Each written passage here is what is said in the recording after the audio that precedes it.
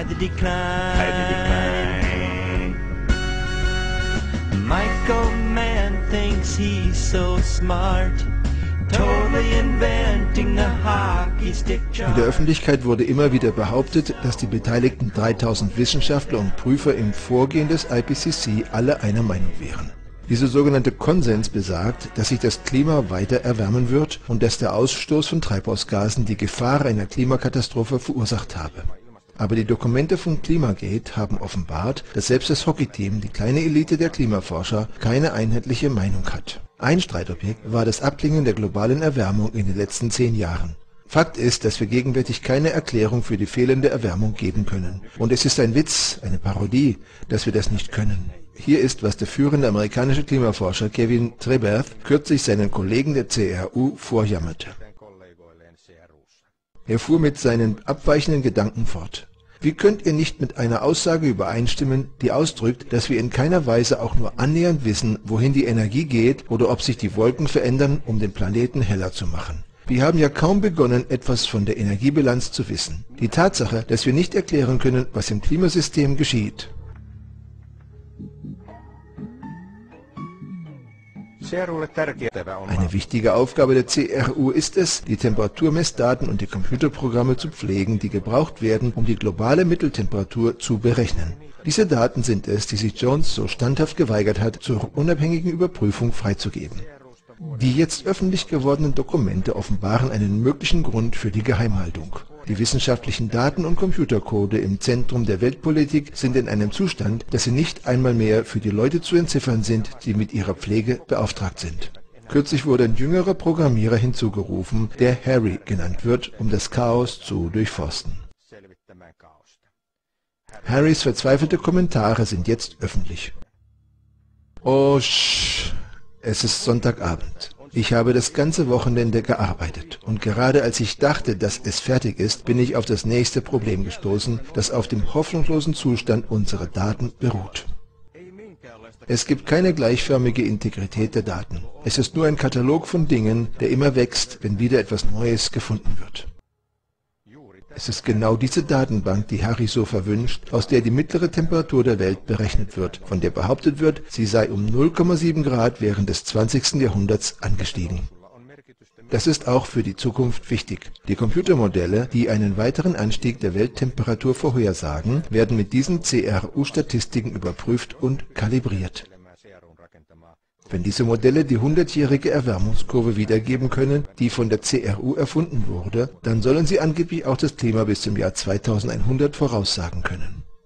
Viele Forscher fragen sich, ob das Phänomen der sogenannten städtischen Wärmeinseln ausreichend in die Berechnung der mittleren Welttemperatur durch die CRU eingeflossen ist. Ich habe Phil Jones oft über E-Mail gefragt, welche Methode er benutzt, um die Wärme der Städte zu berücksichtigen.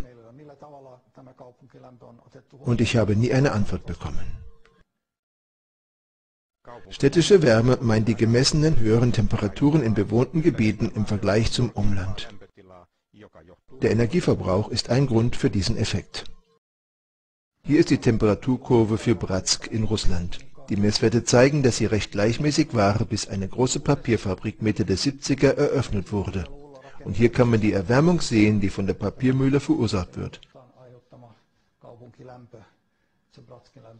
Dadurch ist die Temperatur in Bratsk dramatisch angestiegen. Nordrussland und Sibirien haben viele Orte, wo städtische Erwärmung deutlich ist. Viel Energie wird während der langen und kalten Winter verbraucht.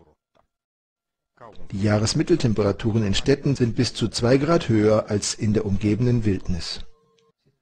Wenn wir Jakutsk anschauen, so war es bis in die 60er Jahre eine zurückgebliebene Gulagstadt ohne viel Industrie. Wie man sehen kann, fing dann die Entwicklung der urbanen Erwärmung in Jakutsk recht deutlich an. Das Phänomen kann man Stadt für Stadt im nördlichen Russland beobachten. Ganz klare Hockeyschlägerchorung für die letzten 50 Jahre. Aber wenn wir zu den Wetterstationen auf dem Land gehen, dann ändert sich das Bild. Zarzan. Warm in den 30ern, warm heute und dazwischen kälter. Die Dixon-Insel im arktischen Meer zeigt keine signifikante Erwärmung. In den 30er war es dort viel wärmer als heute. Dudinka folgt dem gleichen Muster. Der Norden Finnlands ähnelt Sibirien. Professor Antero Järvinen ist der Direktor der Kilpisjärvi-Forschungsstation in Lappland. Er hat die arktische Natur 40 Jahre studiert. Er hat Langzeittemperaturmessungen gesammelt, das Knosten der Birken wie auch die Brutzeiten der Trauerschnäpper aufgezeichnet. Diese zeigen überhaupt nicht viel Erwärmung. Aber da ist auch keine Abkühlung. Es ist mehr oder weniger so, wie wir es seit Jahrzehnten hatten. Wir können nichts Dramatisches feststellen und es scheint für Spitzbergen dasselbe zu sein. Auch da tut sich nichts Wesentliches.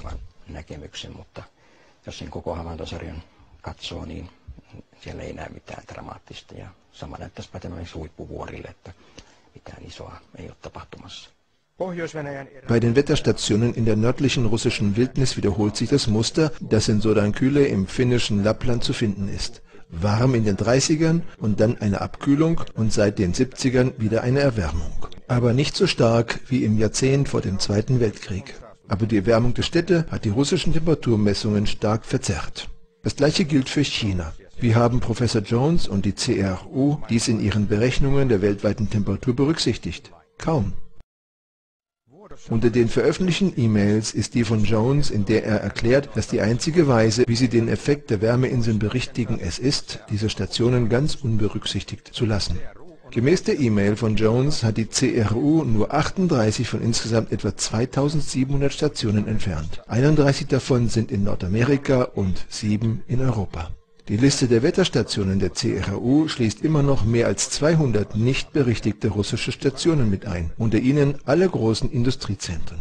Das bedeutet, dass die globale Kurve von Jones fehlerhaft ist. Sie zeigt nicht das Klima, sondern etwas völlig anderes. Selbst das IPCC hat zugegeben, dass ein großer Teil der Erwärmung von 0,7 Grad im letzten Jahrhundert durch natürliche Schwankungen verursacht ist. Die Menschen tragen möglicherweise gerade mal die Hälfte davon bei. Wenn man aber die Wärmeinseln mit berücksichtigt, dann kann der durch das Treibhausgas verursachte Teil nur einen Bruchteil davon ausmachen. Das CO2 selber kann dabei einen so geringen Einfluss auf die Erwärmung haben, dass er innerhalb der Messfehler verschwindet. Es ist durchaus möglich, dass die Klimaveränderungen von der Sonne beherrscht werden, obwohl die direkte Strahlung sich nicht genug ändert, um solche großen Veränderungen zu bewirken. Es ist interessant zu sehen, ob die Effekte des Sonnenwindes auf das Klima sich als die Haupttriebkraft herausstellen. Es wäre eine Überraschung, eine große Überraschung für die Klimawissenschaft, aber das ist völlig möglich. Und in diesem Falle wäre jede Klimaveränderung vor allem von der Sonne verursacht.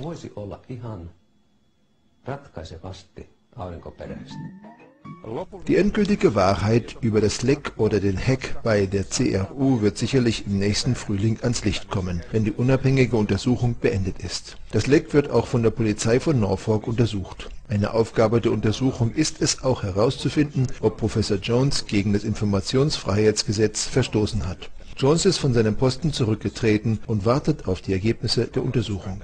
In den USA hat der Klimagate-Skandal zu einer internen Untersuchung an der Penn State Universität geführt, um festzustellen, was ihr weltberühmter Professor Michael Mann gemacht hat.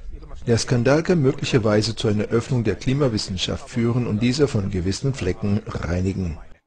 Nun lasst uns abwarten und sehen, was aus den Untersuchungen herauskommt und welche Konsequenzen diese für das IPCC haben werden. Ich bin sehr davon überzeugt, dass die Bandbreite des IPCC erweitert werden sollte, indem Beiträge von anderen Spezialisten und aus der Raumfahrt mit einbezogen werden. Es ist überaus wichtig, dass wir alle möglichen Mechanismen erforschen, wie die Sonne und der Weltraum im Allgemeinen das Klima beeinflussen können. Die Wechselwirkungen zwischen den ionisierten und neutralen Teilchen in der Atmosphäre sind sehr wichtig. Und wie ich schon sagte, können diese einen sehr großen Einfluss auf die Klimaveränderungen haben.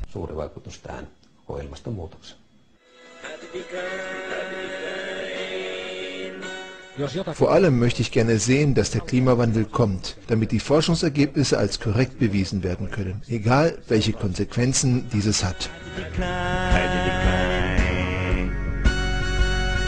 Michael Mann thinks he's so smart, totally inventing the hockey stick chart, ignoring the snow and the cold in a downward line. Hide the decline. Hide the decline. Hide the the decline. The climate gauge. I think you have sealed your fate. I hope you do.